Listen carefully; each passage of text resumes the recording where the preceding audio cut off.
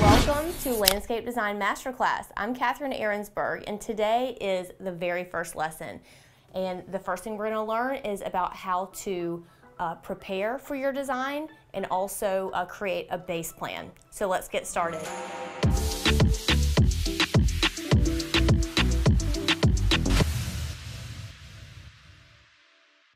The materials that I told you guys that you needed the other day are your pencil, your grid paper, your scale, your measuring tape. Most of those things are gonna come into play today. So the very first thing you wanna do after you've gathered all your materials is to get outside and take the measurements of your job site. If that's just your front yard, if it's just your backyard, whatever it is, how big or how small, it doesn't matter. Just make sure that you're getting all of your measurements.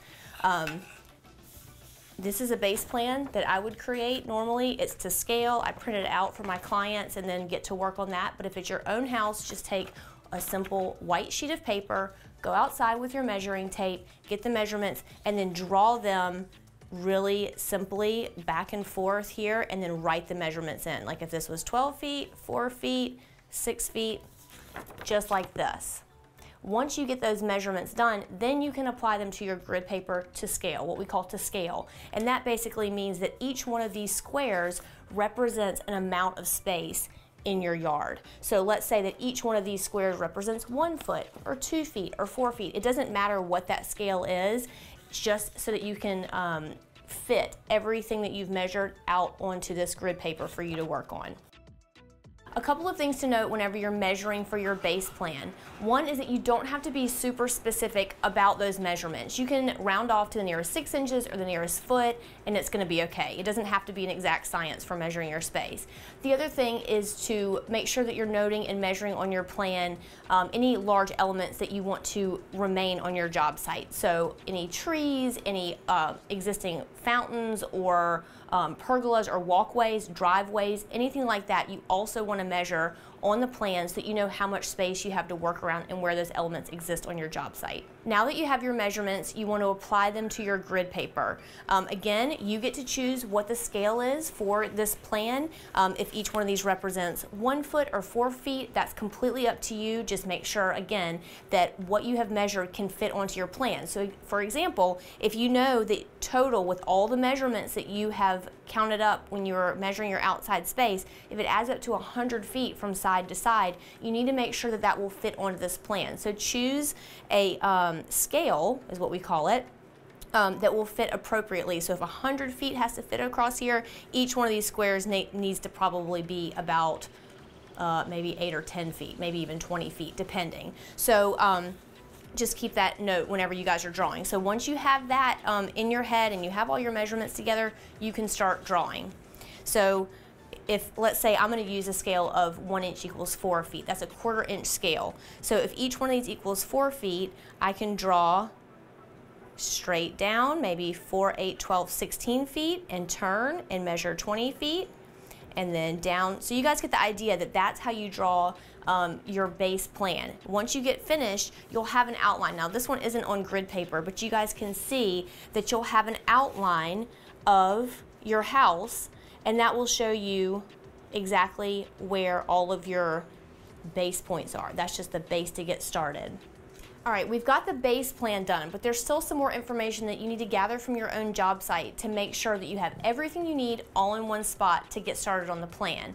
One of those things is photographs. You don't want to be popping out the door every single time you will need to look at an element. So just make sure that you're taking plenty of photographs from every angle of your yard so that you can reference those back as you're working. I like to go wide, step back really far, get the whole space in the photo, and then step forward and get some really close-up shots next to the porch, into little nooks and crannies, all the way around from the side, from the front, so you have a very good uh, not 360, I guess it's like a 180 flat view of the space that you're going to be working with. Other things that you want to take note of and maybe write a list of are things like the sun requirements in your yard. If you're a north facing wall, it's going to be a pretty shady condition. If you're a south facing wall, it's going to be a pretty sunny condition, depending on what your trees are like. So just take note of how much sun is coming into the space that you're going to be designing throughout the day. So step out during several times during the day, take notes so that you know how much sun you're getting. Full sun is, is um, assumed to be about eight hours of sun in the a spot. Partial is about four to six hours, and then full shade pretty much is shady all the time. It might get a couple of hours of morning sun and everything else is shady. So that's kind of some definitions and parameters so you'll understand what sun, part sun, and shade really mean for your space. Another thing that you may think about including in your note taking is if you have wet or dry soil in your space because that's going to determine some plant material that can or cannot be used in your space. And then any elements that you want to include. If you've got a big uh, container or a fountain that you've purchased or something that you want to place into the space, if there's any plants that you've been dying to try out or want to use in the space, maybe take notes of those.